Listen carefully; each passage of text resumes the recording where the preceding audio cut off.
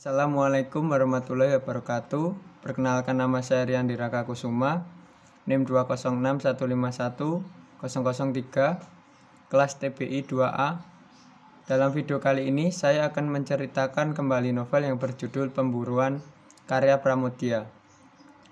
Novel ini menceritakan tentang Harto, seorang bangsawan Wedana yang menjadi anggota tentara peta pembela tanah air. Selang beberapa hari sebelum kemerdekaan, ia bersama beberapa temannya melakukan pemberontakan. Sayangnya usahanya tersebut gagal karena pengkhianatan temannya sendiri, sehingga Harto menjadi disentri atau dalam kata lain diburu oleh tentara Jepang. Selama enam bulan dalam pelariannya, Harto menyamar menjadi seorang gelandangan. Ia menggunakan cawat sebagai penutup auratnya.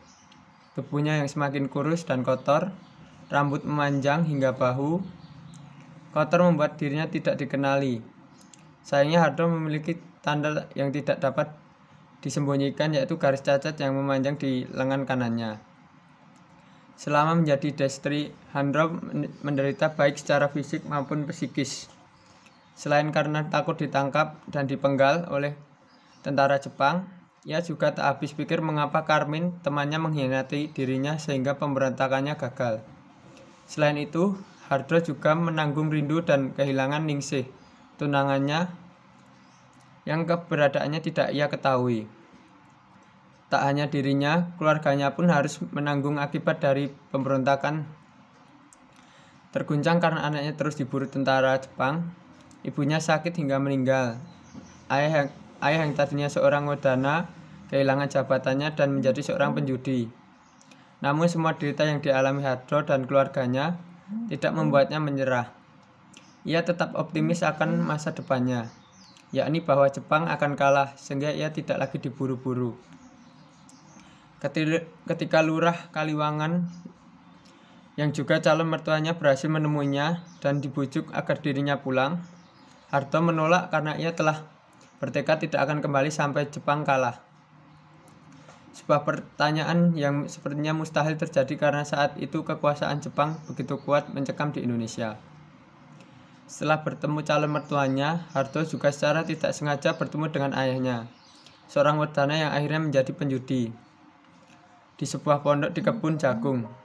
Awalnya ayah tidak menyadari bahwa yang ditemunya dan diajak berbicara semalam itu adalah anaknya sendiri. Namun lambat laun ayah sadar bahwa pengemis itu adalah anaknya sendiri, apalagi ketika ia melihat tanda cacat di lengan pengemis tersebut. Namun hingga akhirnya, Hardo harus kabur karena tentara Jepang mendatangi pondok tersebut. Hardo tetap tidak mengaku pada ayahnya bahwa ia adalah anaknya.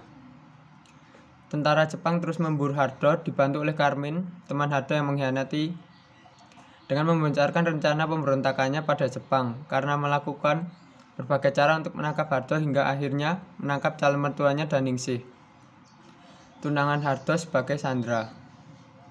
Novel ini menjadi klimaksnya, mencapai klimaksnya saat kemerdekaan diproklamasikan dan gaungnya sampai ke tempat di mana sebuah pertemuan yang tidak diinginkan terjadi antara Hardo, Ningsih, Lurah Kaliwangan, serta Carmen, beserta tentara Jepang yang memburunya. Melalui novel ini yang sangat syarat dengan dialog-dialog panjang di Pram menggunakan hubungan antar Hardo dengan orang tuanya dan juga calon mertuanya yang rumit. Kebencian terhadap Jepang dan harapan agar bisa kembali dari pelarian saat Jepang kalah. Tokoh-tokoh yang dibangun Pram dalam novel ini tampak begitu manusiawi. Masing-masing memiliki motivasi personal di balik tindakannya. Misalnya Hardo yang tidak lari jauh-jauh karena sebenarnya ia ingin menemui Ningsih dan Carmen yang berkhianat karena gagal menikah. Jadi novel ini tidak semata-mata so soal heroisme, kemerdekaan dari penjajah namun juga soal motivasi personal tokoh-tokohnya. Selain itu, novel ini juga mengungkapkan bagaimana masyarakat yang terjajah akan melahirkan dua sikap yang berbeda. Yang kuat akan memilih semangat, pantang menyerah, setia, dan harapan untuk menang melawan penjajah. Yang tidak kuat akan menjadi egois, mencari selamatnya sendiri, menjadi serakah dan akhirnya melari, melarikan diri untuk membela kesalahan tidak hanya berkhianat kepada bangsanya sendiri, melainkan terhadap kawan, bahkan terhadap darah dagingnya sendiri.